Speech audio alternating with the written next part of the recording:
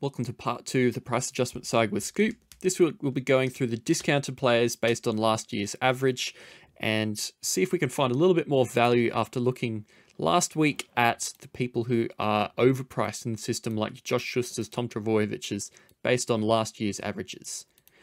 Now, unfortunately, there aren't as many, so I'll be going through each individual one, giving my thoughts.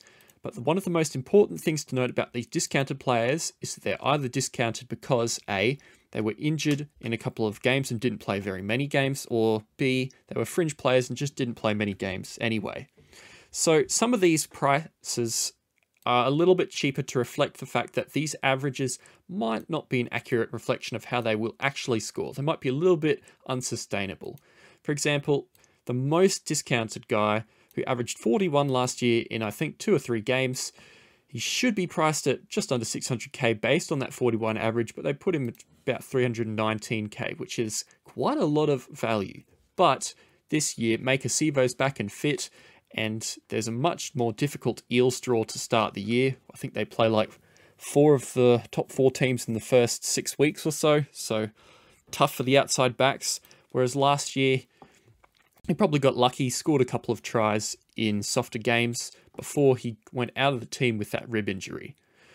So I wouldn't expect someone like Sean Russell to be much value unless there was a bunch of injuries at the Eels and he got another shot. At this price, he's probably a good shout to do well, but he's I doubt he's got 260k of value in him. The second one is I'm a little bit more interested in, and as you can see, I've put this in yellow as somebody who I think is a possibility to start, but not a certainty. These orange ones I put as pretty like pretty likely to stay in the reserves or not very likely to start unless there's a lot of injuries in the team. But back to Izaac Thompson. He played a few games at the back end of last year on the wing, and with Taane Milne suspended to start 23 for two weeks, Thompson has first crack at the wing spot at Souths now, Souths have a pretty rough draw like the Eels to start the year, but they've really turned into a, an attacking dynamo at the back end of last year with Latrell firing, and I think Izaac Thompson can do pretty well if he manages to hang on to that spot with Taane Milne back. Now, I would say he probably holds on to that spot, but I don't have any guarantees for that, and if you don't like that risk, well, it's easy to look elsewhere. Krystian Mapapalangi he's a chance, apparently, of ousting either Best or Gagai in the night centres and starting next year. I possibly should have him in the yellow, um, but I put him in the orange when I made this list. Both he and Izaac Thompson would probably be pretty good value if they started the year.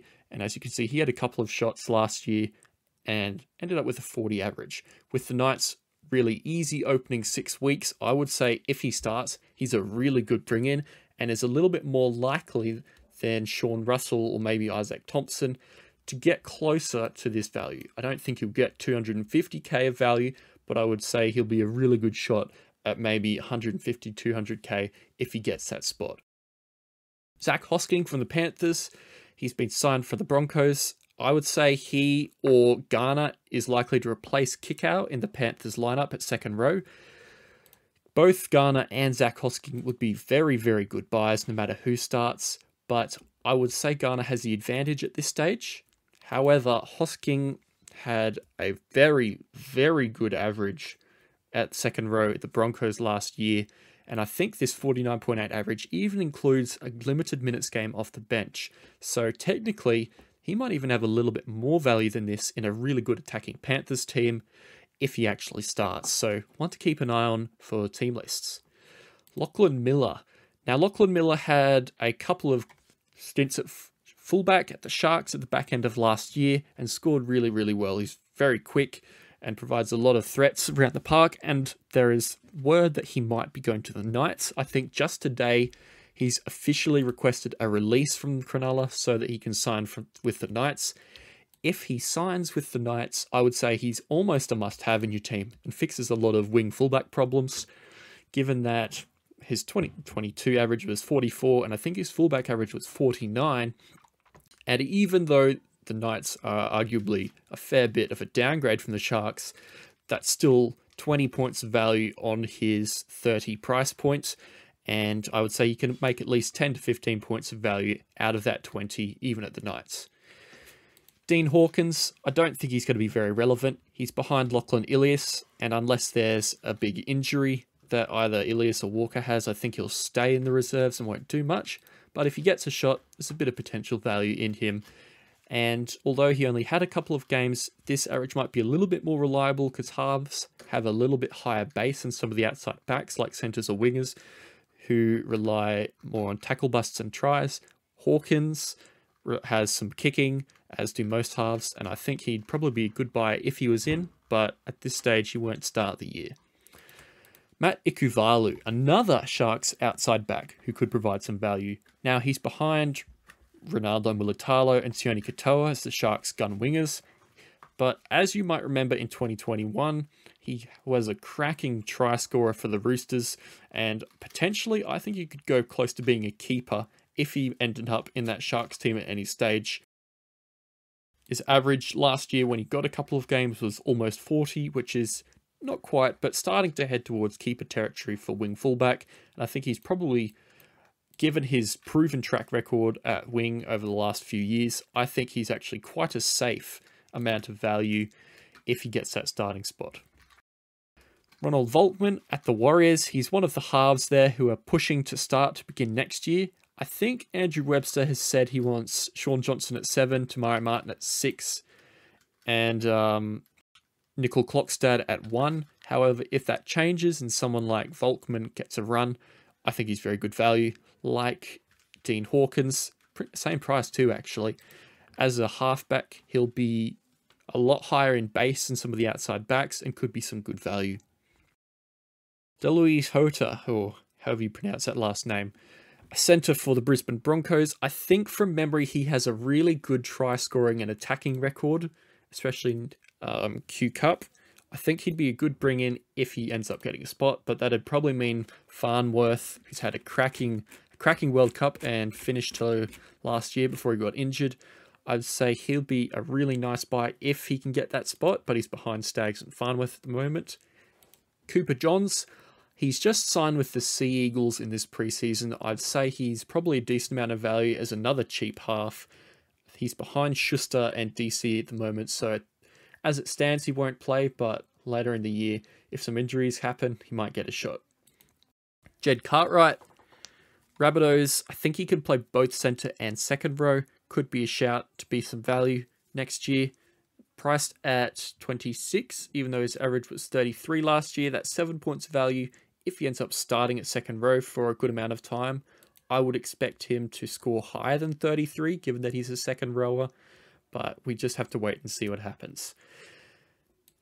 I think Junior Tupou is probably a little bit further down the ranks in the Tigers outside backs, but he had a couple of shots last year, and with those few games, they've discounted his price a little bit. So one to just keep an eye on.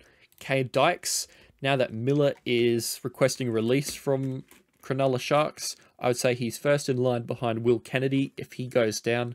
And Luke Metcalf is probably the first in line to be either a half spot or the fullback spot for the Warriors if CNK or Te Maire Martin or Shaun Johnson goes down. And I would say Luke Metcalf actually probably scores a lot better than 27 given his attacking prowess.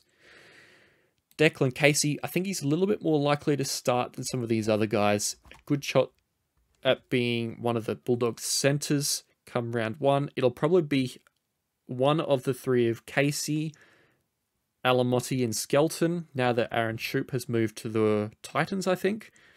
And at 277k, that's basically base price. I'd hop on him if he manages to start. Deine Mariner, Another Broncos centre who's behind Staggs and Farnworth, I would say Hoeter is a little bit ahead of him, but he's also a tiny bit discounted. I'd prefer Hoeter from memory. I think he's got better stats than Mariner, but I can't I can't remember off the top of my head. A little bit discounted. Now, finally, we get down to these two green ones, and these two are the only two in the entire competition who are discounted for no real reason and, well, very likely to start. Jojo Fifita and Greg Marzhew both played I think they played like 8 games and 17 games respectively. They might be slightly discounted because of the teams they're in. I'm not sure, especially Marzhew. I guess maybe they thought moving from the Titans to the Knights is a bit of a downgrade, and so they priced him just a fraction cheaper than his average. I was a little bit keen on Marzhew to start the year, but I think he just needs way too many tries in order to be relevant, and starting winger at over 500k, I wouldn't touch them unless their name is someone like Taylor May or Brian To'o, and even then, probably not a go. So that's all of those discounted players, as I was saying. These guys, I think all of the value that they've got there, like 3k, 2k, is mostly just down to rounding errors with how I've calculated it. You can see Nicho Hynes. If, if you wanted some more argument for Nicho Hynes, technically he's 3k underpriced, so go your hardest. But all of the rest of these guys, as you can see, they're pretty much all at price. The other two I wanted to talk about before we finish up with this and then go and have a look at the buy looping are Hopgood and Jack Hetherington. Hopgood has moved from the Panthers to the Eels, but he only played four games. So technically, he should be a little bit discounted. But because of that bigger role that they expect him to play at the Eels, they have priced him basically at his average, which is a little unfortunate because I would have really loved about a 400k Hopgood instead of a 450k, but he's still good value as it stands. Jack Hetherington, he'll be one of the main candidates to fill Mitch Barnett's vacant second row spot, but there's a good chance that either Fitzgibbon or Brody Jones will get that. We just have to see how it goes TLT. He played three games, so probably even more likely to get discounted than Hopgood, but unfortunately, because they noticed that and they thought he's a good chance to start, he's also stayed at his price um, and is matched at what his average was last year, so 28.9 versus 28.9 price point. All right. So, as we saw last week, there are a lot of very, very popular players who you'll probably want in your team that'll really hurt the value and the strength of your final round one team. So, if you've got guys like a Tom Trbojevic, a uh, Josh Schuster, a Nathan Cleary, and a Brandon Smith, you're already 400k behind where you thought you were going to be preseason because they've increased their price 50k, 60k, 100k, and 215k. I really wish they hadn't done that because Josh Schuster would have been a really, really good value with all those interchange games last year, but it is what it is. So, in order to make up a little bit of that deficit, I'll now show you a bit about looping. Looping can be a bit of a, a bit of a nightmare if you're not used to it, especially in years where there aren't many buys. But this year, we are due to have one buy every week. And so if you have a player from that team, so let's go for round one and the Dragons have the buy. If you have a player from the Dragons who have the buy, you can treat them as a player who doesn't play and then loop around that player to see if you can maximize your potential scoring. I'll show you how that works. So I have Sloan in my wing fullback spot at the moment as it stands. Now, if I pick two players who can play wing fullback, I can have a look to see which one of them goes first and whether I like that person's score.